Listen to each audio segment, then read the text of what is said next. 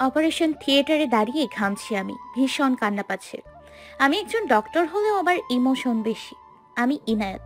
সবাই ইনায়া বলে ডাকে। পেশায় গাইনিকোলজিস্ট। আজ ছুটি নিয়েছিলাম হসপিটাল থেকে। কিন্তু বিকেলে এক ইমার্জেন্সি ফোন আসায় দ্রুত হসপিটালে চলে আসি। ডক্টর হয়ে হসপিটালে জয়েন করেছি এক বছর হলো। এমন অভিজ্ঞতা হয়নি কখনো। শত জন্ম নেয়া শিশুটি মা হারা হয়ে গেল। কান্না পাচ্ছে আবার জানি না কেন ভাবতে কেমন লাগছে, এইটুকু একটা বাচ্চা তার আম্মুকে পাবে না। বাবুটা আমার কোলে কান্না করছে। আমি নার্সের কাছে দিলাম তোয়ালেতে মুড়িয়ে দিতে। আমি জানি না আমি কি বলব ওটির বাইরে গিয়ে। মারা যাওয়ার আগে বাবুটার মা, মিসেস মিতু, আমার হাত ধরে বলেন, আমার সময় শেষ, আমি বুঝতে পারছি। ওরা আমাকে বাঁচতে দিল না। আমি আমার বরকেও বলতে পারলাম না। ওরা আমার সন্তানকেও মেরে ফেলবে। প্লিজ আপনি ওকে বাঁচান। আমি আমার সন্তানকে বাঁচাতে চাই। ওর দায়িত্ব নিন। তখনই ইয়ানা বলল, কি হয়েছে? কে বা কারা আপনার এই অবস্থা করেছে? ইয়ানার প্রশ্নের পুরো জবাব দেওয়ার আগেই মৃত্যুর কোলে ঢলে পড়ল মিতু। শুধু সি, এটা শুনতে পেয়েছে। ইয়ানা জানে না কে বা কার এমনটা করল। কেন একটা বাচ্চার কাছ থেকে তার মাকে কেড়ে নিল? মিতুর হাত এখনও ইয়ানার হাতের মাঝেই। ওর মুখের দিকে তাকিয়ে আছে। না জানি কতটা কষ্ট সহ্য করতে হয়েছে ওকে। ইয়ানার ভাবনার মাঝেই নার্স এসে বাবুটাকে তার কোলে দিল। ফুটফুটে একটা ছেলে বাপু হয়েছে মিতুর কিন্তু কি কপাল ওর? বাবুকে দেখার আগেই মৃত্যুর কোলে ঢলে পড়ল। সে বাবুকে কোলে নিয়ে ওটি থেকে বের হলো। ইয়ানা ওটি থেকে বের হতেই এক ভদ্রলোক ছুটে এসে জিজ্ঞেস করলেন, মৃত্যুর কথা? ইয়ানা কি বলবে জানেন না। কাঁপছে সে, কীভাবে বলবে মৃত্যু আর নেই? ভদ্রলোককে দেখে মনে হচ্ছে মৃত্যুর হাজবেন্ড ইয়ানা কাঁপা কাঁপা গলায় বলল মৃত্যু আর নেই। তার কথা শেষ হতে লোকটি হুঙ্কার দিয়ে বলে উঠল নেই মানে কি ডক্টর? আমার মৃত্যু আমার ওয়াইফ ওর কিছু হতে পারে না। ও ছাড়া আমি শূন্য। ও আমায় ছেড়ে যেতে পারে না। মিতু তার আদিকে ছেড়ে যেতে পারে না কিছুতেই না। কি বলে ওনাকে সান্ত্বনা দিবে ইয়ানার জানা নেই। ওনার কষ্টের চিৎকার বাড়ি খাচ্ছে হসপিটালের দেওয়ালে সবাই তাকিয়ে আছে ওনার দিকে। উনি আবার বলে উঠলেন ছাড়বো না তাদের কাউকে যারা আমার মিতুকে মেরেছে। তাদের কলিজা বের করে নিব আমি। চিনে না আদি চৌধুরীকে। বাবুটা কান্না করে চলছে কি বলবে ওনাকে? এই অবস্থায় তো বাবুকে কোলেও নিবে না। ওনার এই কথাগুলো বলার মাঝেই ওয়ার্ড বয় ওটি থেকে মৃত্যুর লাশ বের করে আনলো সাদা কাপড়ে মুড়িয়ে। উনি ছুটে মৃত্যুর কাছে গেলেন। মিতু এই মিতু চোখ খোলো। দেখো তোমার আদি এসেছে। আজও আমি লেট করেছি আর তাই তোমায় হারিয়ে ফেলেছি। আমি ভীষণ খারাপ ভীষণ। আমি জানি কিন্তু তুমি ছাড়া তো আমি অসহায়। আদি নামের লোকটার আর্তনাদে পুরো হসপিটালের সবার চোখে পানি। অন্য ডক্টররা এসে ওনাকে সামলানোর চেষ্টা করছে, কিন্তু ওনাকে কিছুতেই সামলানো যাচ্ছে না। কোনো রকমে তিন চারজন ডক্টর মিলে ওনাকে সামলায়। উনি হসপিটালের করিডোরে হাঁটু গেড়ে বসে পড়লেন, পাগলের মতো প্রলাপ করছেন। একটু পর একজন লোক এলো, এসে আদি নামের লোকটাকে উঠিয়ে নিজের দিকে ঘোরাতেই আদি ওই লোকটিকে জড়ি ধরে আর বলতে লাগে, রেহান, আমার মৃত কোথায়? কেন আমায় একা করে গেল? কেন বিষাদ দিল আমায়? আমি কি নিয়ে থাকব? ইয়ানা বুঝতে পারল যে লোকটি মাত্র এলো তার নাম রেহান। রেহান বলে উঠলেন চুপ শান্ত হ। ভাবির এই অবস্থার জন্য যে দায়ী তাকে তো শাস্তি দিবই। নিজেকে শান্ত কর। সময়ের অপেক্ষা এখন। আদি নামের লোকটি একটু শান্ত হলো। একটা ফোন এলো আর রেগে ছুটে চলে গেলেন।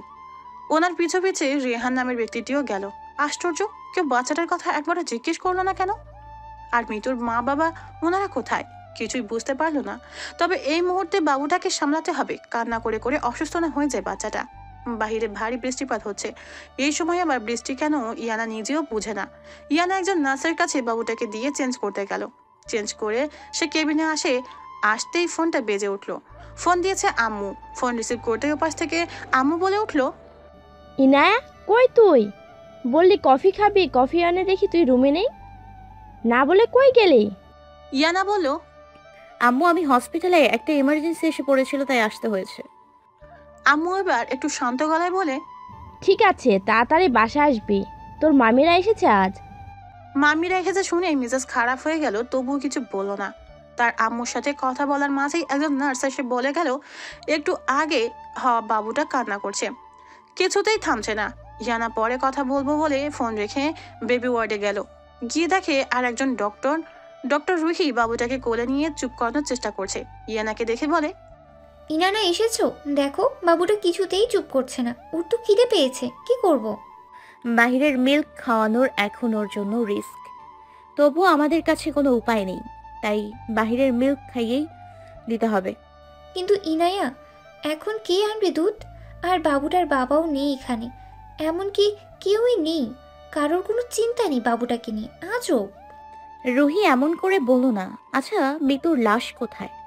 নিয়ে গেছে ওনার হাজবেন্ড আমার খারাপ লেগেছে অনেক জানো? ওনার জন্য। ইস যদি ওনাকে কোনোভাবে বাঁচাতে পারতাম। বেবিটাও তো বাঁচতো না। তুমি ছিঁড়ে পড়ে বাবুটাকে বাঁচাতে পেরেছি। এখন এই কথাগুলো রাখো আর ওয়ার্ড বয়কে বলো মিল্ক আনতে। আমি টাকা দিয়ে দিচ্ছি। ইয়ানার কথা শুনে রুহি অবাক হয়ে বলে তুমি দিবে?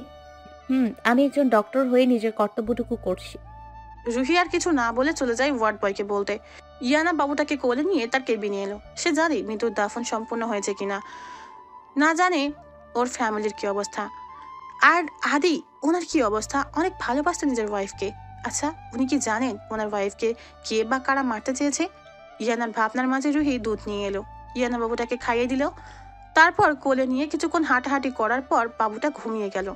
মৃত্যুর কবরের সামনে দাঁড়িয়ে আছে আদি। চোখ মুখ বিধ্বস্ত লাগছে।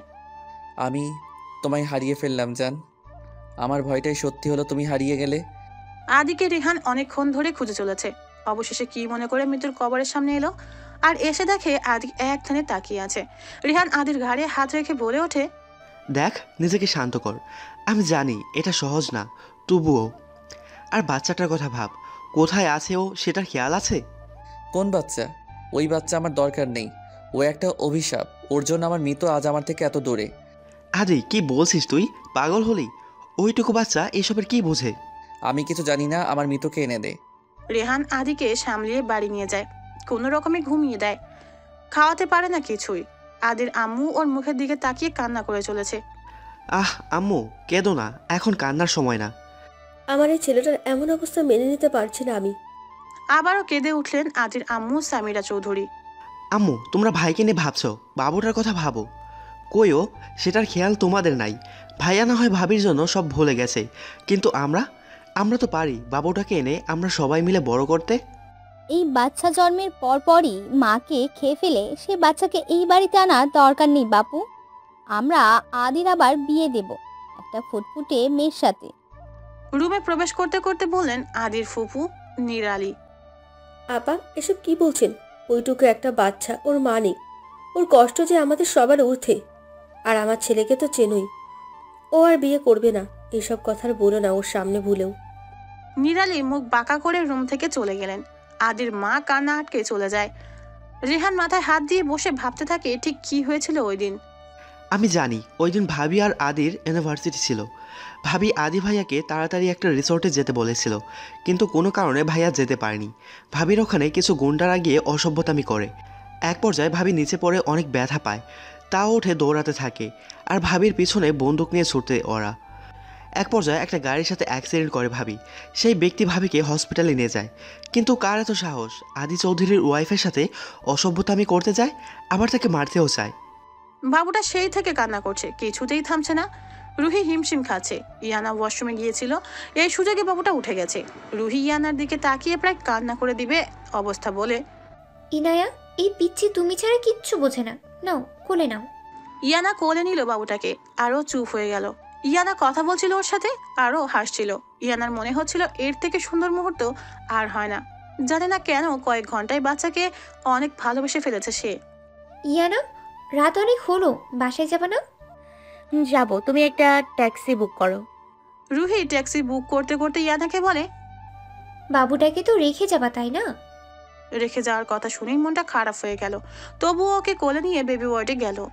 দেখে কোনো নার্স নেই। কাল শুক্রবার তাই আজ রাতে সবাই যে যার বাড়ি গেছে। এখন ইয়ানাকে বাবুটাকে নিয়ে বাড়ি যেতে হবে।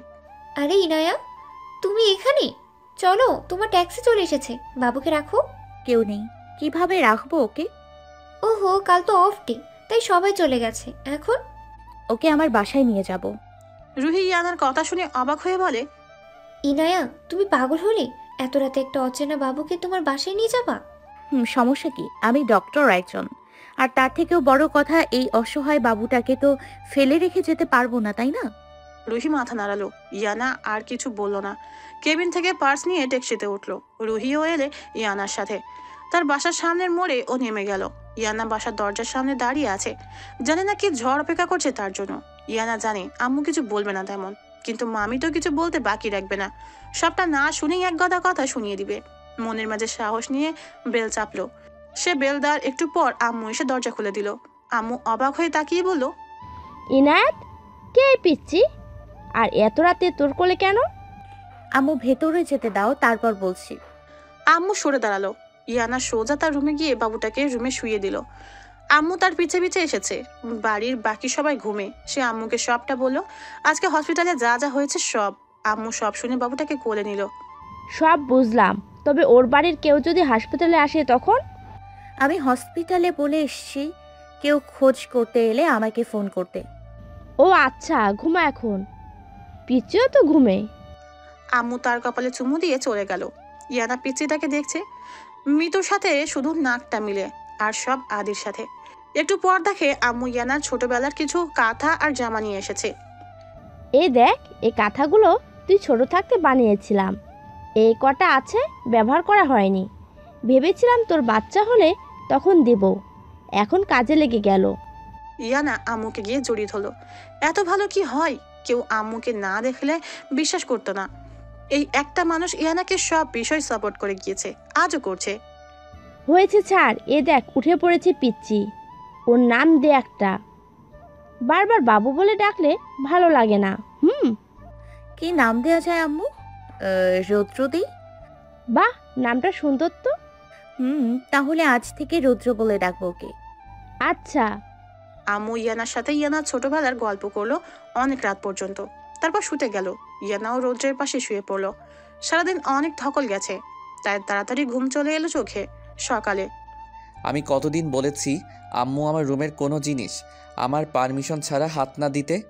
আদির চিৎকারে পুরো চৌধুরী বাড়ি কেঁপে উঠল। কথা আদির ফুফাতো বোন ছুটে গেল আদির রুমে সাথে আদির আম্মুও। কি হয়েছে বাবা? প্রশ্ন করে আদির আম্মু। আমার রুম থেকে মিতুর সব ছবি কোথায় গেল? আদির প্রশ্নে ভয় পেয়ে যায় কথা আর কথার মা নিরালি। কারণ আদি যখন সকালে নামাজ পড়ে মৃত্যুর কবর দেখতে গিয়েছিল ওই সুযোগে মৃত্যুর সব ছবি এবারে থেকে সরিয়ে দিয়েছে ওরা। আমি কিছু জিজ্ঞেস করছি আম্মু। আমি তো জানি না বাবা। রাগ করো না দেখছি আমি। আদির আম্মু চলে যায় স্টাফদের জিজ্ঞেস করতে। ওরা বলে ওরা জানে না। আমি জানি না মিতু কোন দোষে এমনটা হলো। আমি তোমায় নিয়ে হাজার বছর বাঁচার স্বপ্ন দেখেছি। আর তুমি এখনই চলে গেলা? মৃত্যুর একটা ছবি ফোনে বের করে তার সাথে কথাগুলো বলছে আদি। চোখ ভয়ঙ্কর লাল। ও জানে না কেন ওর মনে হচ্ছে এসবের পিছনে ওর কাছে কেউই আছে। আদি উঠে রেডি হয়ে নিল। ড্রয়িং রুমে আসতেই আদির বাবা রায়হান চৌধুরী বলে আদি তুমি কি কিছু ভুলে যাচ্ছ না? আদি পিছন ফিরে তাকিয়ে বলে ঠিক কি বলছো? বুঝলাম না ড্যাড আদি তোমার সন্তান কই? ওর খোঁজ নিয়েছো একবারও? কাল রাতে আমি খোঁজ নিয়ে জানতে পারি কোন এক ডক্টরের বাসায় নিয়ে গিয়েছে ওকে। আমাদের বংশধরও। এই চৌধুরীদের রক্ত বইছে ওর শরীরে।